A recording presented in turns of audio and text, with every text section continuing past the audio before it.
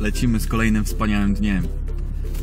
Miałem nagrywać trochę później, e, gdzieś tam pod koniec pracy, bo wtedy jakiś taki lepszy nastrój mi się udziela.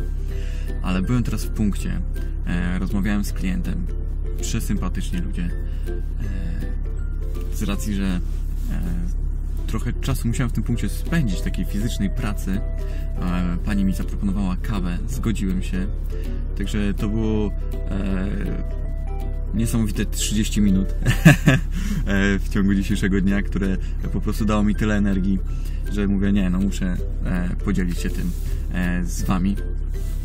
I, tu chciałem właśnie ten temat poruszyć, bo tak sobie pomyślałem teraz po wyjściu, że też ja miałem wpływ na to, co tam się działo. Też te sytuacje nie biorą się znikąd. I chciałem zaznaczyć, że ważne jest pozytywne nastawienie.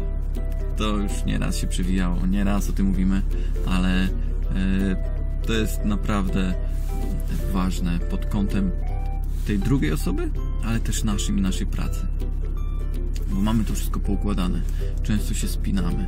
Kurczę, tu 5 minut za długo. O ja, gdzie teraz nadrobić? E, Ja też często się na tym łapię. Ale ta wizyta uświadomiła mi, że gdzieś kosztem 5-10 minut, e, gdzie musimy dłużej zostać, czy chcemy dłużej zostać, ale je, jest tam taka energia, że jesteśmy w tym czasie w stanie po prostu no, naładować swoje akumulatory, tak? To nawet nie chodzi o tą kawę, tylko o to takie nastawienie i o ten e, kontakt. Także e, jak, ja, jak ja na to wpłynąłem na tą sytuację, co poruszyłem ten temat? Mianowicie wszedłem i od razu magiczne słowa, których ostatnio staram się używać. Co dobrego u Was słychać? I śmiechem, żartem, e, o, dobrego? Hmm. I ludzie zaczynają myśleć, co dobrego u nich słychać. I zaczęliśmy rozmawiać. I po prostu e, chciałem zaznaczyć, żebyśmy nie skupiali się na tych negatywnych rzeczach. Odcinajmy. Tutaj też takie się pojawiały i mówimy, o no tak, ale w sumie to z drugiej strony to to, to i to jest dobre. E, Mam taki cel, żeby dzisiaj, w kolejnych dniach po prostu e, odcinać się od rzeczy negatywnych. Bo też zdarza mi się, że klienci wciągną mnie w takie e, negatywne nastawienie. I o ile wydaje mi się, że jestem w stanie to na punkcie przyjąć, bo gdzieś tam, żeby z klientem porozmawiać, zrozumieć go, to okazuje się, że gdzieś to później może z nas wychodzić. Także lepiej jak e, będziemy czerpać to, co dobre, e, takie optymistyczne, starajmy się zarażać, naprawdę. Jeżeli ktoś to podłapie, to taka wizyta e, po prostu ładuje nam akumulatory i dalej lecimy.